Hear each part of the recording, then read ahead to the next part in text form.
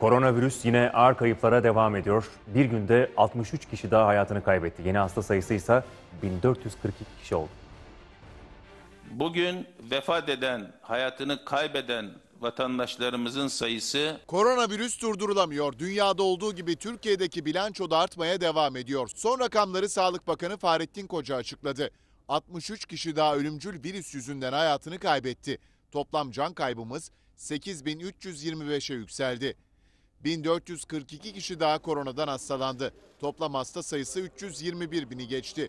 Koronadan iyileşenlerin sayısı da 282 bini geçti.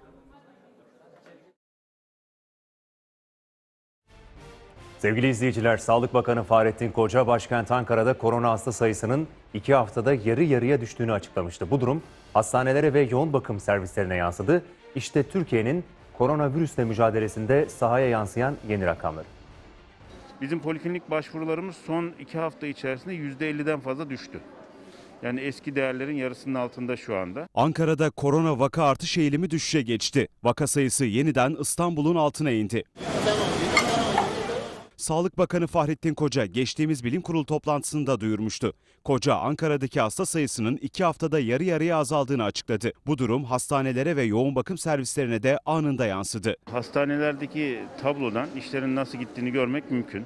Türkiye'nin en büyük acil servisine sahip Ankara Şehir Hastanesi'nde de korona şüphesiyle başvuru yapan kişi sayısı %50 oranında azaldı. Açıklama Ankara Şehir Hastanesi Koordinatör Başhekimi Operatör Doktor Aziz Ahmet Surel'den geldi. Herhangi bir Covid'den müte- mütevellit bir hastamızın bize serviste veya yoğun bakımda ihtiyacı varsa hepsini karşılayacak alanlarımız mevcut. Öte yandan Ankara Şehir Hastanesi'nde emzirme haftası nedeniyle düzenlenen etkinlikte Kadın Doğum Hastanesi Başhekimi Profesör Doktor Özlem Moraloğlu Tekin önemli açıklamalarda bulundu. Koronavirüsle mücadelede adeta anne sütü kalkan işlevi görüyor. Bugün yapılan çalışmalarda COVID enfeksiyonu dahil bütün hastalıklara karşı antikor içerdiği gösterildi. Anne sütü gerçekten bebeğimizi tüm hastalıklardan koruyor, zeka gelişimini hızlandırıyor. Pandemi döneminde ne plasentada ne de anne sütünde hiçbir şekilde virüse rastlanmadı. Bu nedenle uzmanlar hijyen koşullarını sağlamak şartıyla annelerin çocuklarını emzirmeleri gerektiğine dikkat çekiyor. Bir Hollanda çalışmasında anne sütünde